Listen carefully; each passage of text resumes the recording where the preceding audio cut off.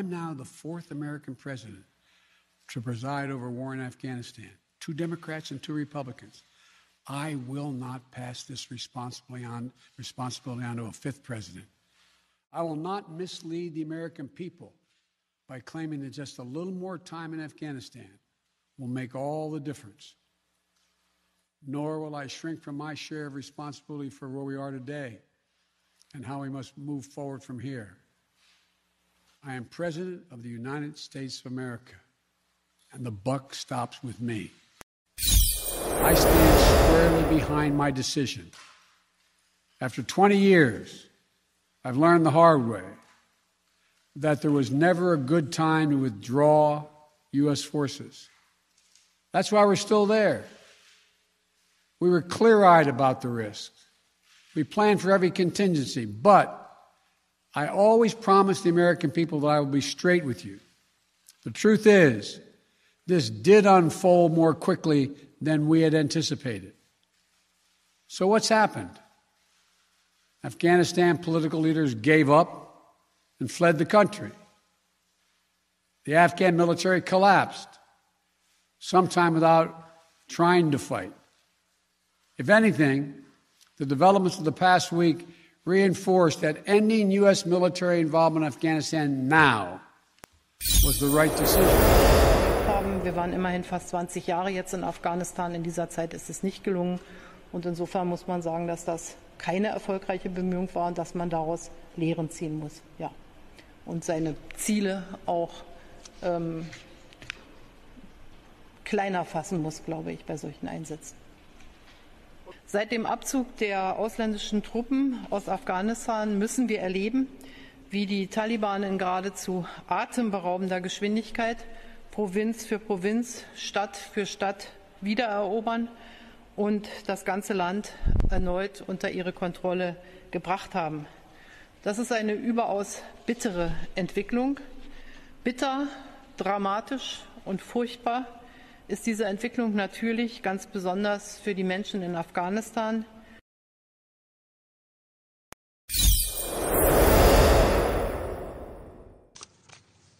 Mr. President, today I'm speaking on behalf of millions of people in Afghanistan.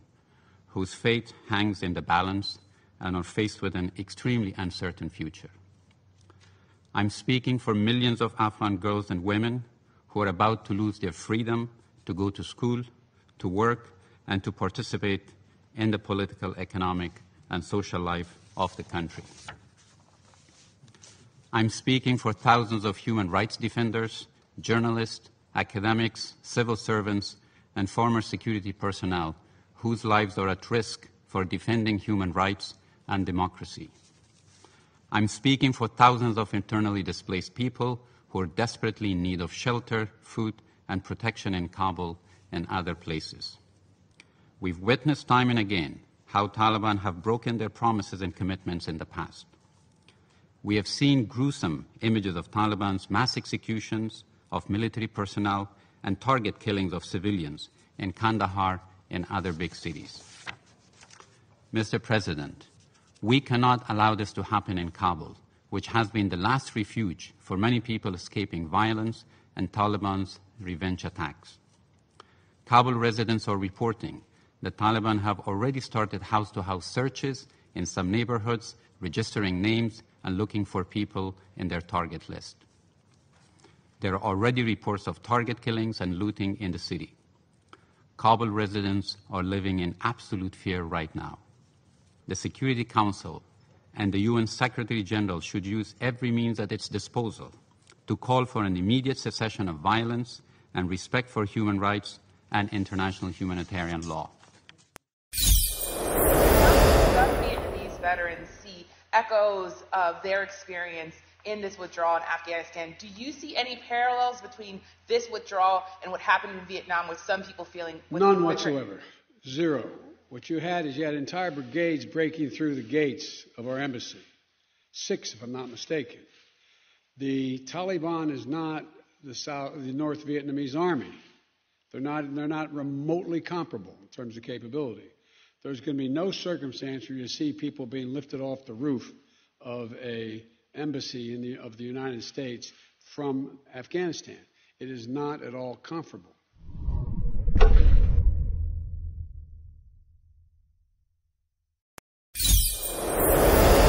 Ustedes tienen la posibilidad de caer en cuatro pecados.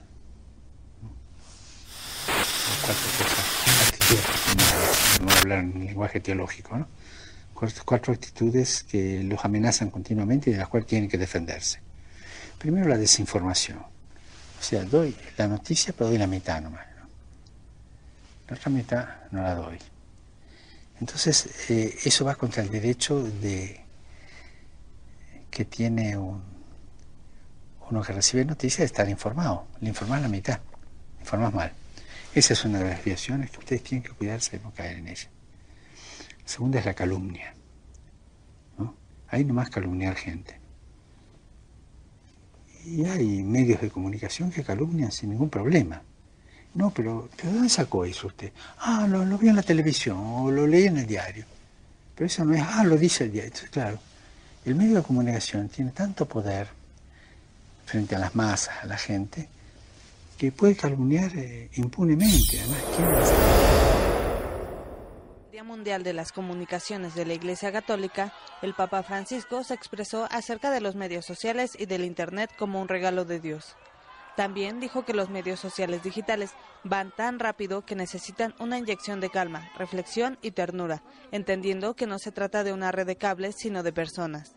El Papa también dijo que mientras los católicos deben valorar y defender sus ideas y tradiciones, no deben ser tan petulantes como para afirmar que solo ellos tienen la verdad absoluta. El Papa Francisco se reunió con 7.000 miembros de la Sociedad de San Pablo por el centenario de su fundación. Son religiosos y religiosas que se dedican a evangelizar a través de los medios de comunicación. L'ideale consegnato da Don Alberione alla famiglia Paolina è di essere San Paolo oggi vivente, come l'Apostolo Paolo è stato inviato a predicare ai popoli pagani. Francisco les dijo,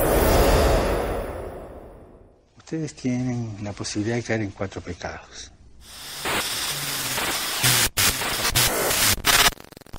preocupa constatar que se levantan voces, especialmente de algunos doctrinarios, que tratan de explicar que los derechos sociales ya son viejos, están pasados de moda y no tienen nada que aportar a nuestras sociedades. De este modo, confirman políticas económicas y sociales que llevan a nuestros pueblos a la aceptación y justificación de la desigualdad y de la indignidad.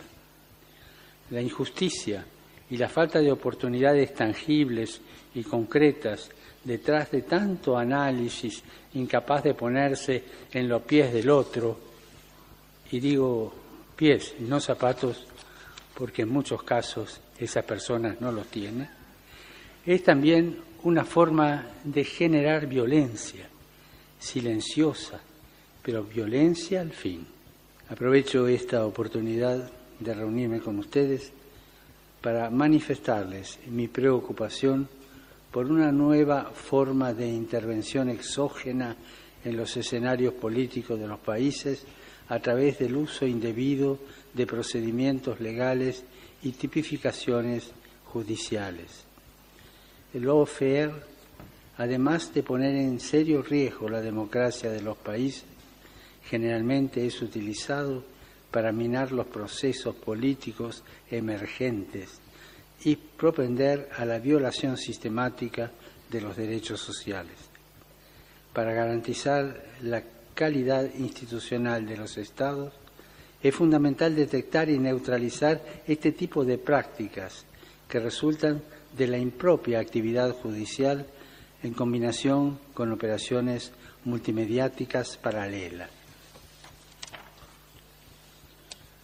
Sobre esto no me detengo, pero el, el juicio previo mediático lo conocemos todos.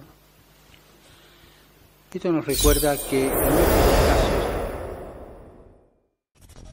Filosofía, aquí y ahora.